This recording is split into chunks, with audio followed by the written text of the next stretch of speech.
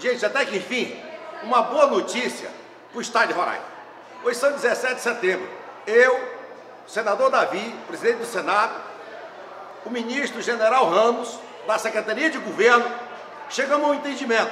Eu vou fazer um PL para mudar a lei de imigração, que está destruindo o Estado de Roraima.